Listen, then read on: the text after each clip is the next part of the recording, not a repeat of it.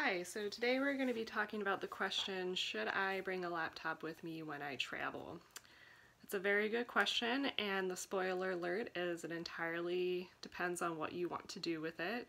So some people need to work abroad um, or work remotely and in that case I think it makes a really good argument for wanting to bring your personal computer, full, you know, full spectrum laptop um, but in my case, where I wasn't working remotely on my last trip, I did decide to bring another device with me, and that was because I get really tired of trying to book things on my phone and kind of squinting and looking at that small print and entering in credit card numbers and all those things over and over and over again. So we were on a multi-destination trip. We knew we would be doing a lot of booking on the fly. So we just felt like it would be a good investment to get a Samsung Chromebook. And this was relatively inexpensive compared to other personal computers, laptops. It's very lightweight, very thin, as you can see, so it was very portable while we were traveling. Um, it integrates well into Wi-Fi, it has the keyboard and the screen, um, the screen is not huge, but again, it's a lot better than trying to work constantly off of your phone. Um, it does have USB and other imports in it.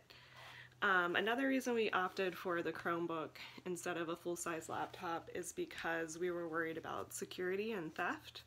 Um, so if you bring your personal laptop and it's not backed up and something happens to it, that can get really sticky.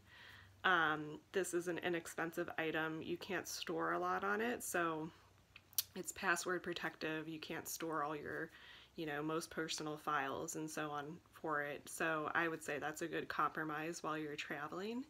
And then the other thing is, while I was traveling, I did need to work on Microsoft PowerPoint.